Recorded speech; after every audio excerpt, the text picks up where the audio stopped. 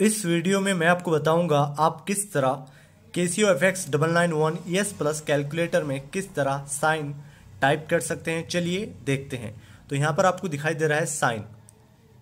तो ये बटन दबाना है आपको।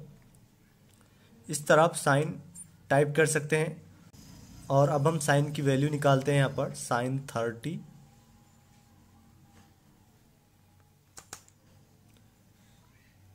इस तरह आप साइन यूज़ कर सकते हैं।